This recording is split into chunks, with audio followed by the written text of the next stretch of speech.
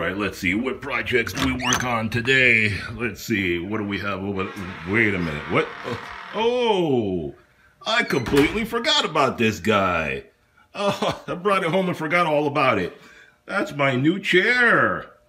All right, let's get this guy opened up and let's start putting it together.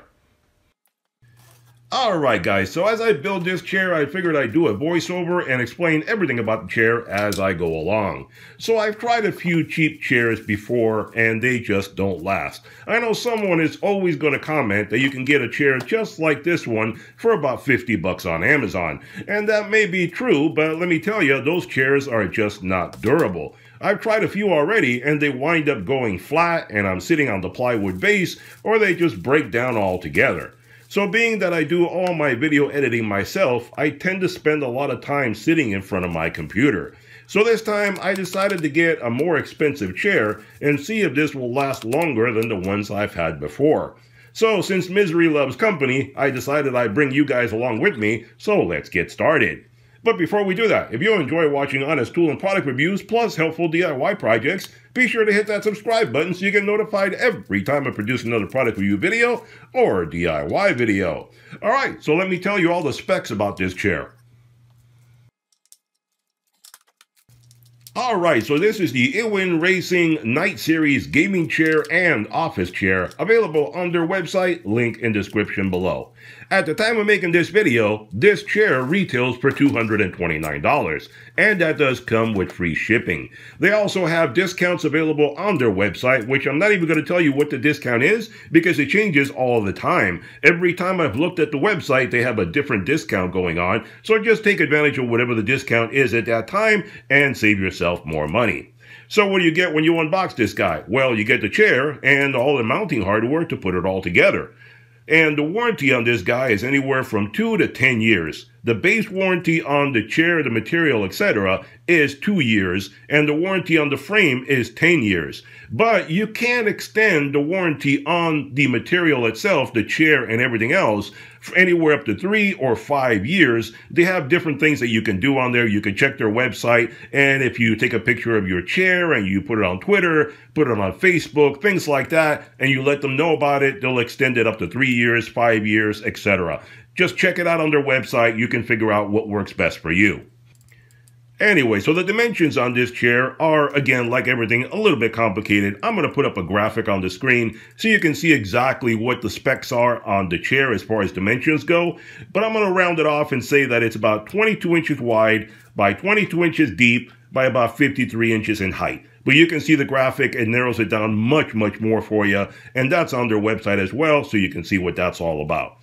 This chair in particular is intended for folks that are about six foot one in height, up to that max, and up to 400 pounds in weight. If you want a chair that'll hold someone a little heavier or a little taller, they do have other models available that are meant for those kind of people. But this one is anyone up to six foot and 400 pounds. It does come in five different colors. It comes in red, which I got, comes in blue, gray, white, and pink. It is covered in a PVC leather, not real leather, so no animals were harmed in the making of this video. It has a high density cold cured foam insert, which is supposed to be better than the memory foam. By what I understand, memory foam tends to sag faster if you sit on it for long periods of time, where cold cured foam is less prone to doing that. Of course, memory foam is softer, so this one will be firmer. You have to decide which one is more comfortable for you. Do you want it to be firm or do you want it to be soft? You decide what works best for you. This chair has height adjustable armrests and back, and the back is adjustable from 85 degrees to 155 degrees, and I'll show you that once it's all put together. If you want armrests that are adjustable back and forth and sideways, you need to get a more expensive model, and they do have other models that will do all this stuff. This chair comes with some quiet glide wheels, which should make it easy to move around and a lot less noisy in your office. So this chair can be used as a gaming chair or as a regular office chair. If you want something that has more adjustability than a plain Jane office chair, you may want to look at this chair. And I should mention that they do have other series which offer more features at a higher price. So if you want more features and are willing to spend the money for it, then they're happy to satisfy you with whatever it is that you want. Check out all the other series that they have on their website, and you can pick the one that works best for you. I thought this one would be good enough. If in the future I decide it's not, I may check out a more expensive chair. So I'm almost done with the chair. I'll be wrapping it up real soon, but I'm taking my own sweet time putting it together for you. That way you can see on the video what everything is involved in putting this chair together. If you've never assembled one together you have any doubts, well, you can use this video as a template, I guess, as a walkthrough, uh, as an instructional video showing you how it goes together. I put together dozens of chairs over the years, and they're all pretty much the same. They're not very complicated, really quite easy to do, and this one is no exception, really quite easy to do.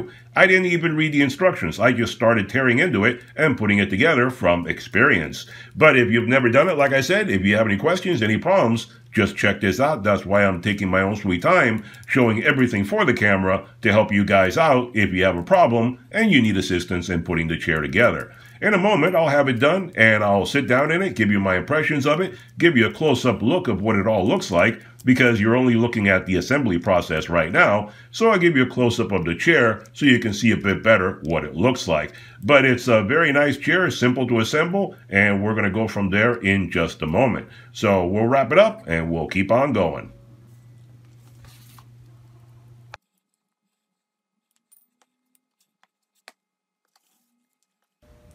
All right, guys, there we have it. The chair is fully assembled, fully completed. There you go. That is one handsome looking chair. I really love this chair, really attractive. It has nice red inserts and red stitching in case you didn't notice. It's like a nice bucket seat in your car. You can see the red stitching right there and the red inserts and the leather is very nice and soft, but it is firm. It has good foam to it. It is nice and firm. So think about that if you're looking for a chair, if you want a firm one or a soft one. The pillows, on the other hand, are rather soft and comfy, so that's not a problem. The armrests are padded. They're not hard, they are padded, so that's very nice right there. But it has some nice look to it and it is a little bit wrinkled. That's not anything to be concerned about. That's just from the packaging. I'm sure in a few days that'll relax and come out. That's not a big deal. You can see right there, that's not any damage. That's just from the packaging itself, which I'm sure that will relax over time. And I'm hoping this chair will last me more than the other ones that I've had up until now. In case you didn't notice, I put this chair together without even reading the instructions because I have put together that many chairs over time. They just keep constantly breaking on me and I constantly have to replace them. The padding wears out, the leather goes bad, different things like that. And I've already gone through several of these different types of chairs. So I'm hoping this one will be better. And I will definitely let you know if I have to build another one to replace this one. So there you have it. So I'm going to sit down on it and I'm going to show you exactly how it works and we'll go from there.